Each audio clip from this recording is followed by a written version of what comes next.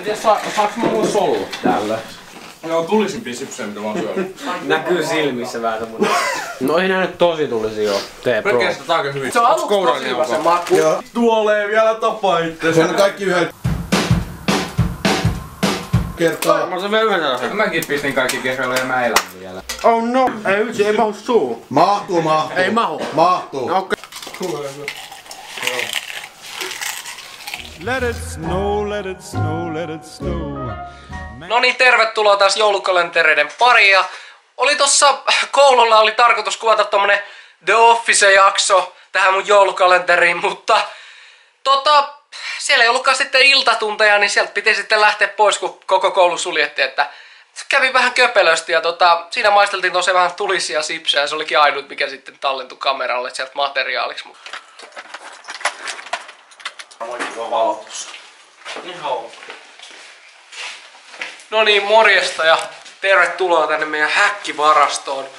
Ollaan tuolta etsimässä tota... Kuusen jälkää ei kuusta. Niin, että pistettäisiin tota tänään toi joulukuusi vihdoin kokoon. kun on kuin... Eli... Löydettiin joulukuusen jalkaa ja kaikki on sitten ihan, ihan hyviä. On. No niin, mä voin kuvaa tämmösen hyvän lähtön. Mä voin ottaa vaikka tämän tästä. Sitten menti jouluiloa tuomaan meille. Moikka! Ja oikein iloista valkeata. Niin, nyt on sitten joulukuusi tässä ja tota, varmaan aletaan koristelemaan jossain vaiheessa vai? Mä en oo ikinä laittanut tähteä kaikkuun Nyt on tää tärkeä hetki, eli laitetaan tää tähti tänne joulukuusen latvaan, mutta eikö se kuulu sulle vasta vikaksi? Miksi kaikki pitää tehdä niinku... No mutta se on se hieno juttu, että muuten kuusi... Mitä mä aion tehdä, sit kun mä oon Suomessa kodissa. No. Mä en laita yhtäkään koristetta ja mä lähden joka joulu pois Suomesta. Tuli pari postikorttia. Näis meneekin sitten vähän isompi tovi näissä saakelin tota, lampuissa, joulukuusen valoissa. No niin, ja sitten käynnistetään nämä valot.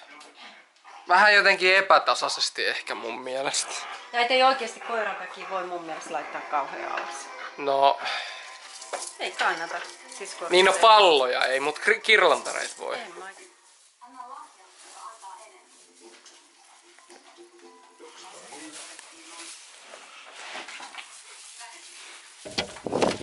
No niin, nyt on ollut vähän tämmöstä päivää, että ollaan laitettu vähän näitä joulujuttuja. Täällä on joulukuusta, sitten on kirlanteri katossa, sitten tämmönenkin setti roikkuu täällä katossa. Et tota, no, tää lukku olisi oikeastaan niinku, no, tässä. Corn for popping. The lights are turned way down low.